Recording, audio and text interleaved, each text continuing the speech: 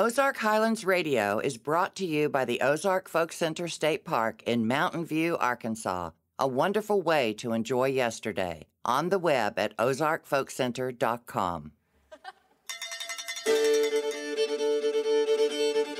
Greetings, folks. This is Dave Smith, host of Ozark Highlands Radio. Welcome to our show. This week, we'll travel back in time to hear California musician Meredith Axelrod and multi instrumentalist Craig Ventresco play the music that you would have heard on Great Grandpa's Victrola back in the early 20th century. Down in the vault, my buddy Mark Jones has found an archival recording of Ozark fiddler Euless Pilcher. And writer, professor, and historian Dr. Brooks Blevins explores one of America's first nationally broadcast country music television shows based in Springfield, Missouri, the Ozark Jubilee. All that this week on Ozark Highlands Radio.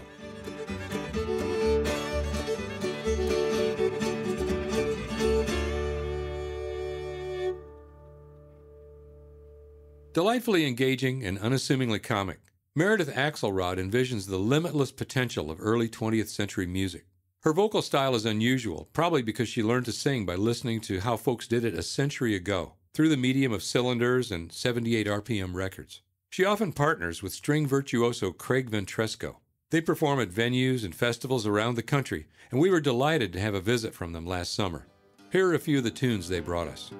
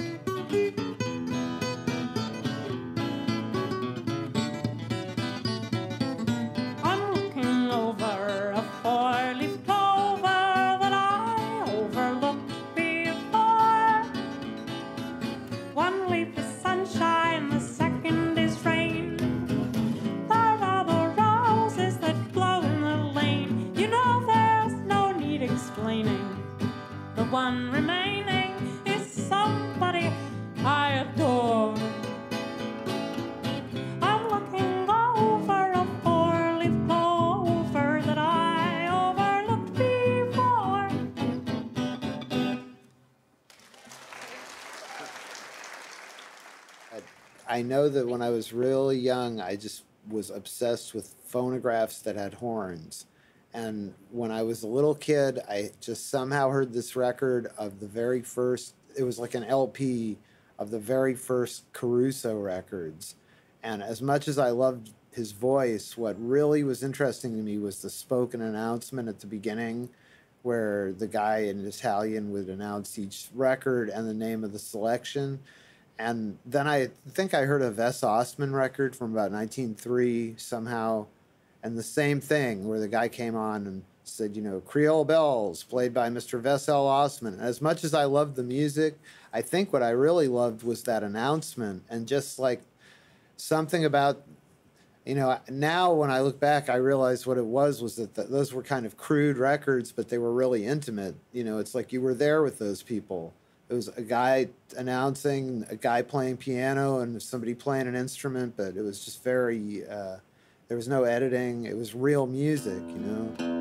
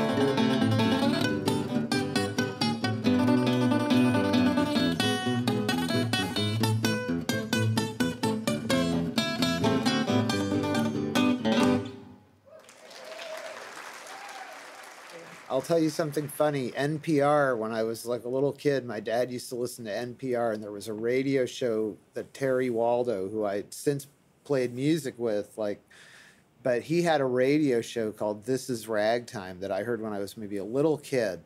And that's when I first heard Billy Murray. But the, the, the thing is, he, he played three records to show why ragtime was bad.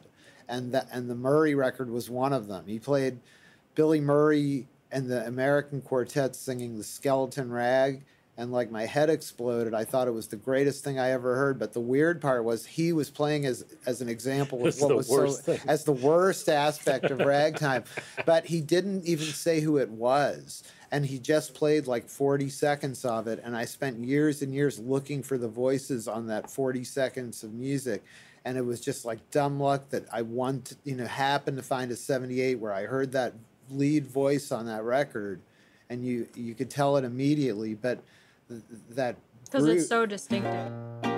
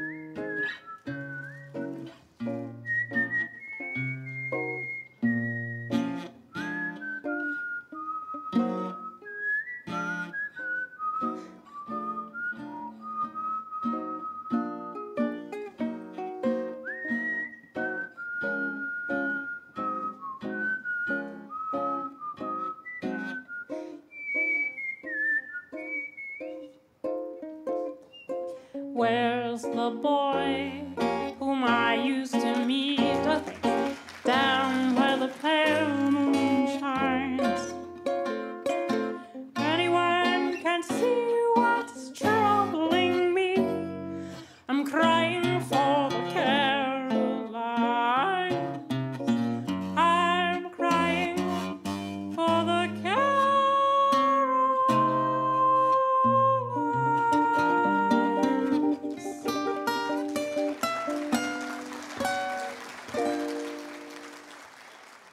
things have changed with the internet. Like when I was a little kid and I wanted to hear cylinders because I really wanted to hear every cylinder ever made, and I was so frustrated because how the hell are you going to do that? And then I happened to live in the same town with a guy who actually had like the world's best cylinder collection. So when I was a kid, I could go over there and he was super nice and I taped cylinders. I still have the cassettes. And I go to crazy people's houses just to tape records. Like I was uncomfortable with some of the people I had to meet. The thing with the internet that's great is you can hear all that stuff without having to go to the weirdos' basements. But in a way, it's cool that I did go to the weirdos' basements because, like, to me, 78 saved my life, I think. Like, I've collected them since I was a little kid. And when I hear those records, those voices are like my friends. And I love them so much, you know, like I don't ever look at them as a burden. I don't want 10,000 records because I want every record I have to be a gem. Special. Something I pull out where I'm like, oh, I'm so excited to hear this.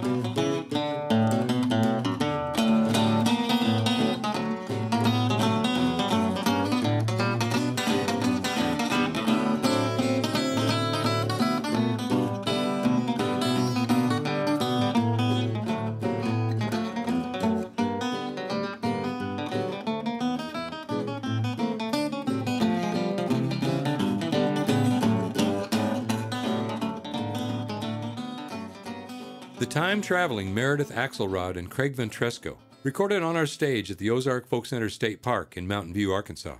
We heard I'm Looking Over a Four Leaf Clover, My Hindu Man, Crying for the Carolines, and the original Rag. After this break, come with me down to the vault for a visit with the ever fascinating Mr. Mark Jones. You're listening to Ozark Highlands Radio.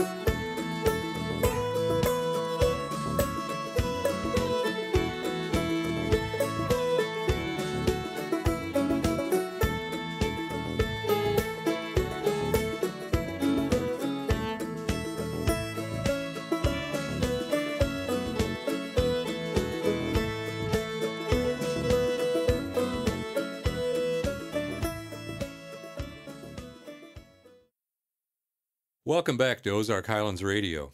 I always like to go down to the vault this time of the week and visit with Mark Jones, uh, who keeps track of all of our music we've collected over the years. Come on with me down.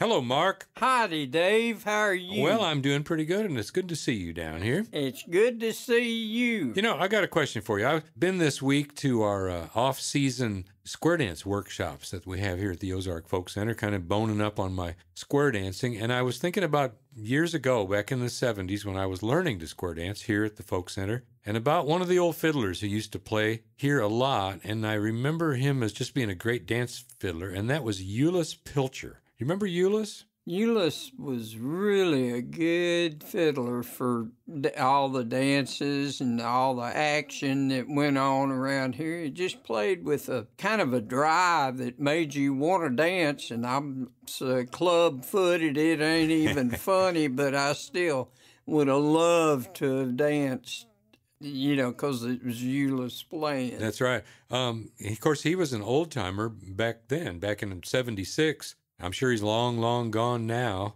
Now look at us, we're the old timers. What happened? Eh, I don't know.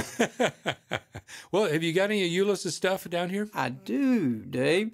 Uh, him and Irvin Freeze and a couple of the guys are gathered up up at the front mics, and they're doing uh, Sally Gooden. Oh boy, let's hear it.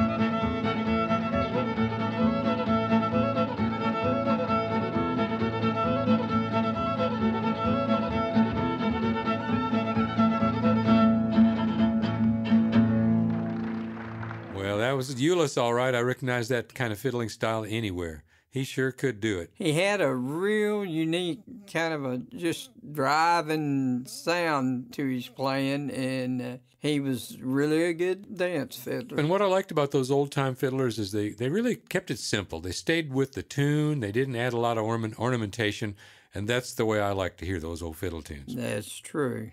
I agree with you just a lot of excitement. Yep. Well, look, thanks a lot, Mark. It was great to hear Euless Pilcher again. Thank you, Dave. Come again, will you? I'll do it. All right.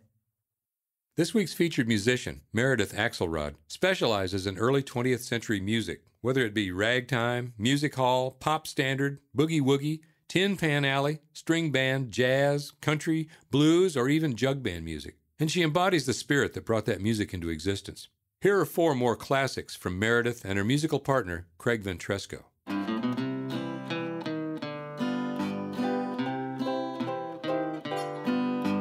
I just feel like telling the world I'm happy and gay. I just feel like telling you why I'm feeling this way. This is just the time of the year when bees.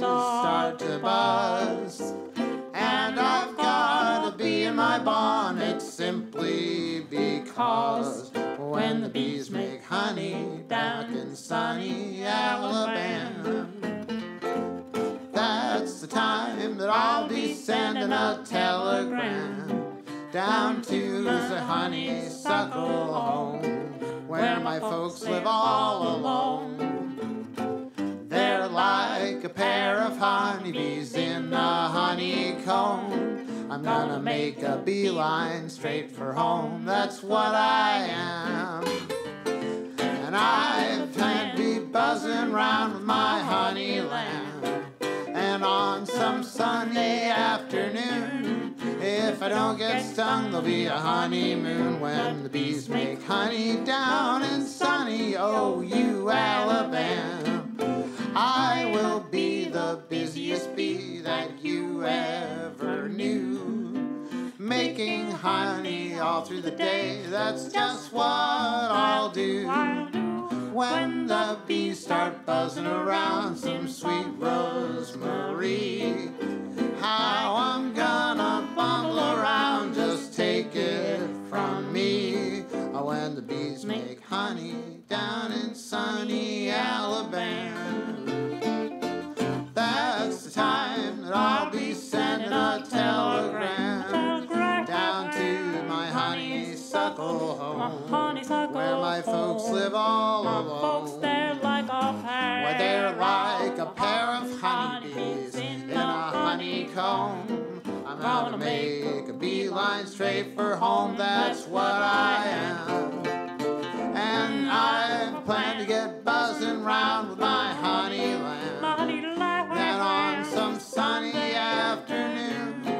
If I don't get stung, there'll be a honeymoon. when the bees make honey.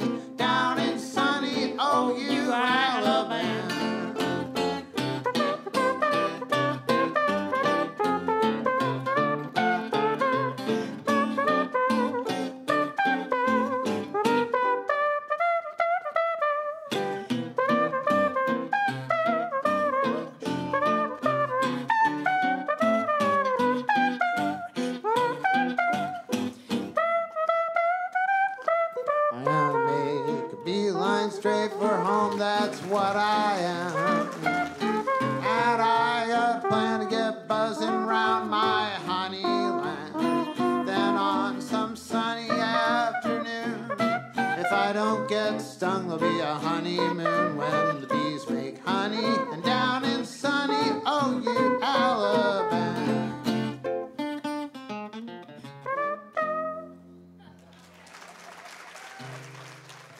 Was just just reminded me the only performer in modern times I can think of who tried to imitate those voices on those old records was actually Tiny Tim of Yeah. all people.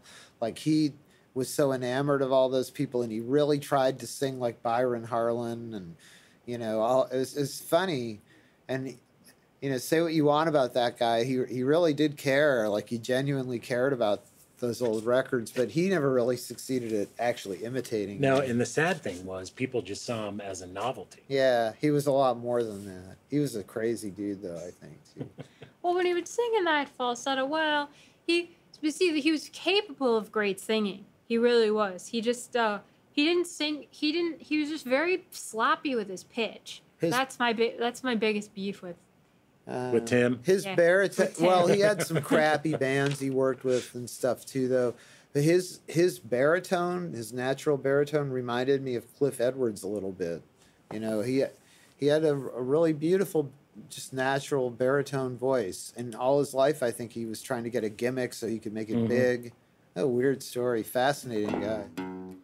Darling, I just can't get over hearing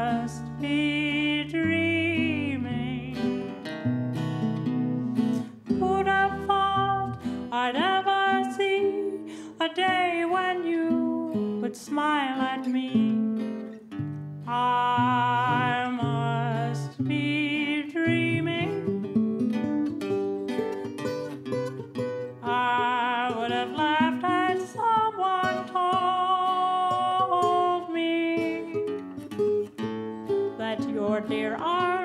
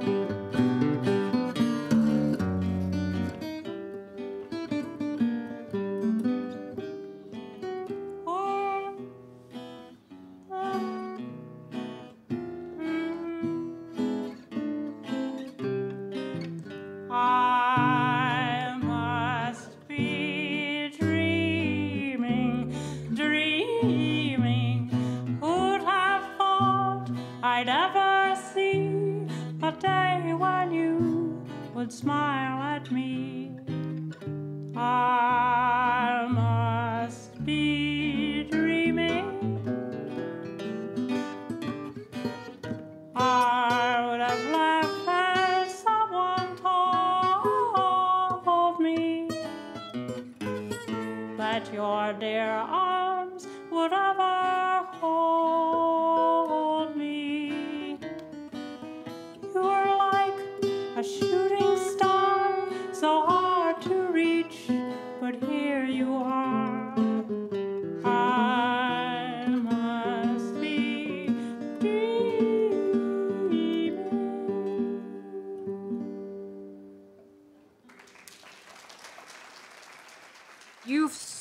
Much liberty with your voice.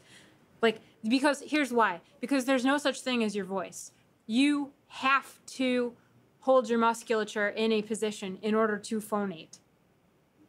Millimeters, tenth of millimeter, tenths of millimeters dif- difference in where you're holding your anatomy is going to change your voice. There's no such thing as your voice because because because in order to engage your vocal folds, you have to hold your anatomy somewhere. You have to you're you're not just relaxing your anatomy, you don't have a default voice. You have to hold it somewhere. In some position. Is it here? Is it here? Is it here? Is it here? Is it here? Is it here? And those is it here? For Is you here? people on radio, she's holding her hands in different positions right now. Well, which is why people can do impersonations, I guess, right? Of course, and why they can sound completely natural at it. Now, there is, however, a big distinction, or like a big distinction between what sounds natural and what doesn't, and um, very that is very um, murky and mysterious to me. Though I can hear that sounds natural and that doesn't.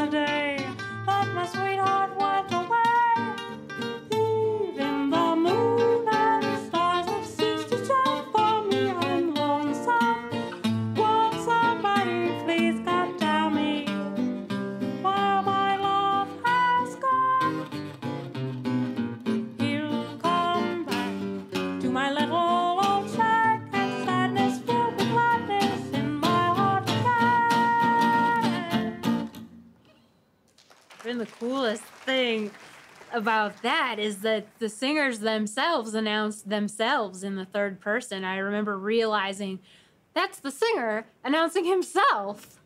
And yeah, sometimes it's so cool you get to hear them speak. Yeah, and the singers, a lot it like those the pop singers back then, like S. H. Dudley and Dan W. Quinn, and the people who would be called like the pioneer recording artists. They really did sing in vo- in beautiful, like they were their own voices. But those records were really hard to find. It took me years and years to even know what to look for. But I always looked for 78s like in people's garages and stuff. And then one day I think I heard a Billy Murray 78 and I realized like, oh, that's the guy. Like that's the type of voice I like. That was the epiphany. And then I found Jim Walsh's Hobbies articles, where he- wrote for 40 years for Hobbies every month about different pioneer recording artists who made records at the turn of the century. And that's who I really learned from was him and those articles. And that introduced me to tons of record collectors and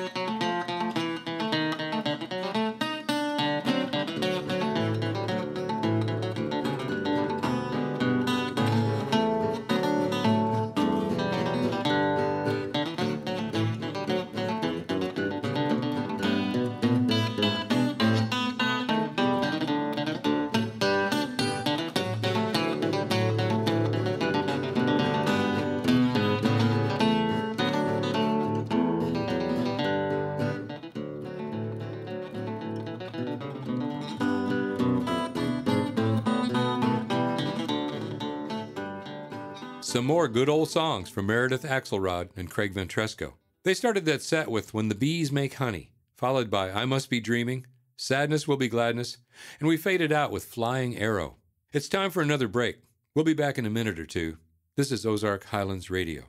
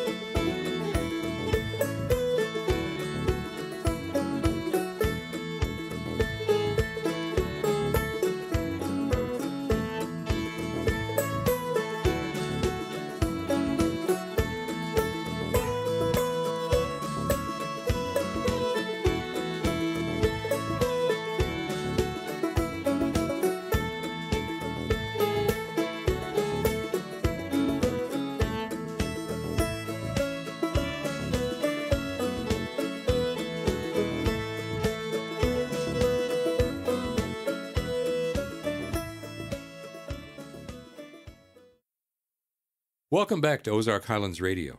Author and historian Dr. Brooks Blevins, who now teaches at Southwest Missouri State University, has been exploring early music shows of the Ozarks, including early television shows. Regal Pale, one of America's two great beers, and the high flying, fun loving Regal Bird bring you now Ozark Jubilee. Unless you've lived many moons past the half century mark, you won't remember it. But there was a time when nationally broadcast television shows originated right here in the Ozarks. Let's go back in the hills to remember one of the shining jewels of our musical crown, the Ozark Jubilee. The new technology of television first came to Springfield, Missouri, the Ozark region's largest town, in 1953, and it didn't take local entrepreneurs long to hatch major dreams. For years, Ralph Foster's Springfield radio station, KWTO, the call letters stood for Keep Watching the Ozarks, had produced many local music programs, gathering a stable of talented musicians, singers, and behind the scenes personnel in the process. For a few years in the 1940s, the station had even produced its own Saturday night barn dance show. Called Korn's A-Krackin', it was broadcast across the nation on the ABC radio network. That show's executive producer was Springfield native Si Siman, and when TV came along, Siman, Foster, and a couple of local backers founded Crossroads Productions to develop programming, and it was hoped challenge Nashville as the crossroads of country music. One of their earliest efforts was a TV show called Ozark Jubilee, which first aired locally on Springfield's KYTV on the night after Christmas in 1953. But Siman and Foster had their sights set on the big time.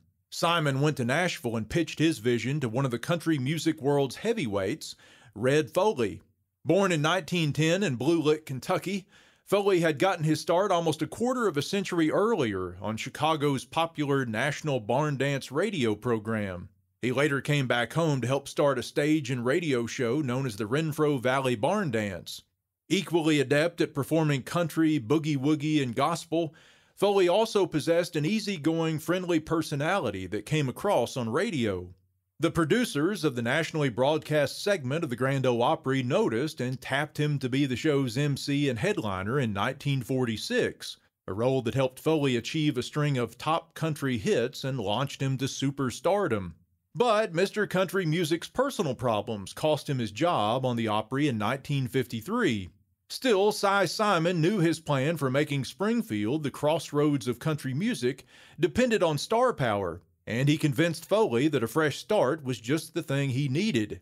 With Red Foley's name attached to the project, Siman and his associates traveled to New York and sold ABC television executives on the idea of a music variety show broadcast across the nation each week from the Jewell Theater in Springfield.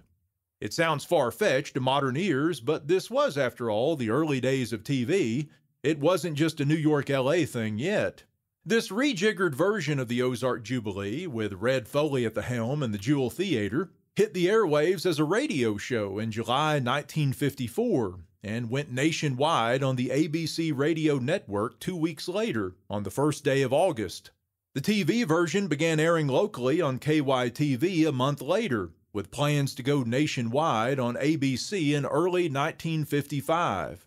The production hit a bit of a snag, however, when it was discovered that a new kind of telephone wire would have to be installed in Springfield in order to pipe the Jubilee up to Chicago and from there across the country. The Queen City of the Ozarks didn't have the technological infrastructure needed for crossroads status just yet. So, when the date of the first national broadcast on ABC TV rolled around, January 22, 1955, the Ozark Jubilee came into living rooms not from the Ozarks, but from station KOMU on the campus of the University of Missouri in Columbia.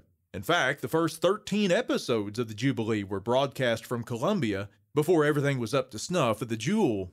The Ozark Jubilee wasn't the first country music show broadcast over a national television network. But it was the first to achieve sustained success over a long period of time, almost six years, and it was the first to feature the industry's biggest names. Most weeks highlighted at least one guest star, and that list is a who's who of country and western stardom in the 50s. Gene Autry, Tex Ritter, Bob Wills and the Texas Playboys, Roy Acuff, Hank Thompson, Eddy Arnold, Jim Reeves, Webb Pierce, Johnny Cash.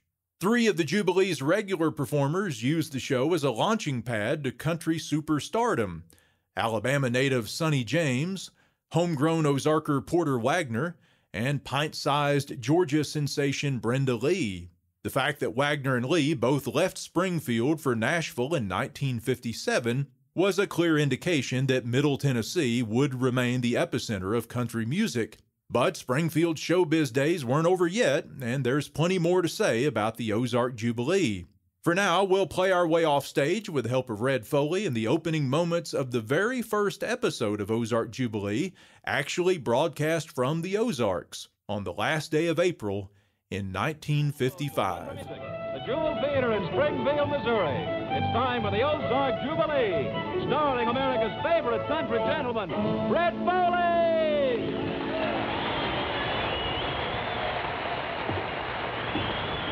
Wow. Boy, that's, thank you so much, folks. Bless you.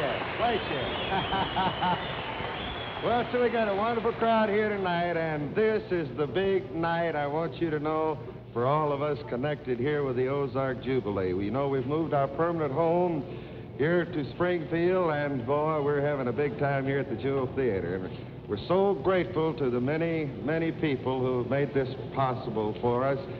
And to all of you folks who are here in person tonight, uh, say welcome home. Well, we're going to trot out a little song here now, boys. Uh, salt it down, something like the Salty Dog Rag. Well, way down yonder in the state of Arkansas, where my great grandpa met my great grandpa. They drink apple cider and they get on a jack. They all dance, dance to the salty dog rag. One foot front, drag it back. Then you sag. If your partner sings, you're supposed to sing. Your heart is light, you tap your feet in rhythm with that ragtime beat. Pack up your troubles in your old kit bag and dance all night to the salty dog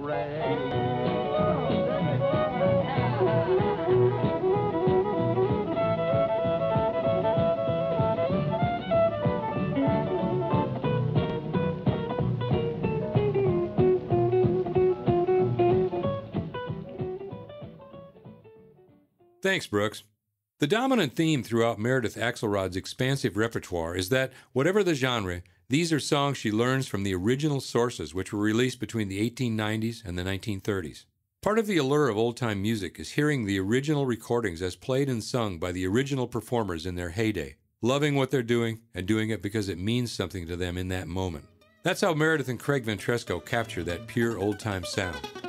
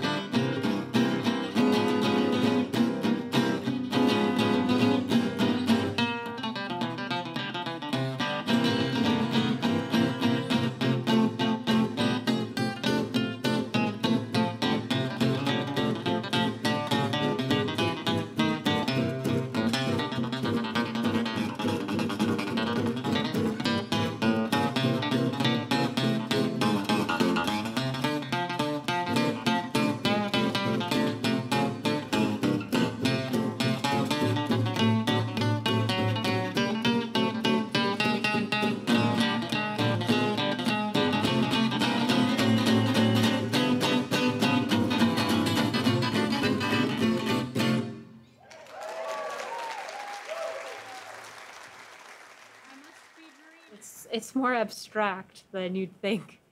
I mean, we just kind of like hear the song a bunch. We kind of know the song. This is unless we learn it off sheet music, which we may, uh, or or because someone complained like there's a beautiful Scott Joplin wrote it this way, and you're totally screwing that up, or you totally missed you totally missed the beauty of that rag because the bass line's supposed to go bum bum. They'd be like, I I was listening for that and you failed. Then You failed me, Meredith. I'm disappointed. Actually, only one person did that, and, and, and he did it all the time. And Mr. Happy there. That was he. Who? And Mr. Happy. We, There's some guy who's a real. some guy who's a stickler for the uh, all the notes. He would come out and critique. Yeah. Really, he'd come out to the gigs. Yeah, but Yeah, that, Mr. that, Happy. that Well, I guess I should uh, come clean on this. Mr. Happy's actually here. Oh, good, good, Wow. good. Oh, I hope he sits in front. I hope he We sits flew him in. That'd be so great.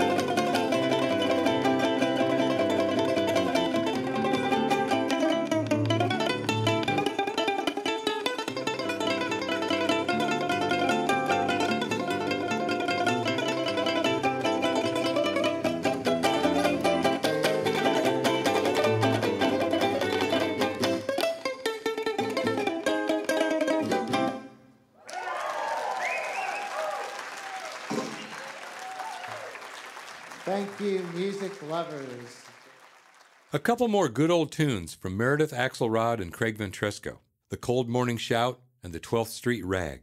That's about all we've got time for this week. We'll be back next week with more good music from the Ozark Mountains. For Jeff and Darren and the rest of us here at Ozark Highlands Radio, this is Dave Smith. See you next week. Ozark Highlands Radio is produced by Jeff Glover. Executive producer is Darren Dorton. Additional support for this program comes from the Committee of 100, proudly supporting the Ozark Folk Center State Park since 1974. Arkansas State Parks, with 52 unique reasons to visit the natural state. On the web at arkansasstateparks.com and by Stone Bank with roots in Mountain View, Arkansas. Stone Bank is a proud supporter of heritage musicians and small towns across America, with government guaranteed loans for farmers, entrepreneurs, and communities. More information available at stonebank.com. For information on upcoming shows and events, we are on the web at ozarkhighlandsradio.com. Until next time, I'm Donna Farrar.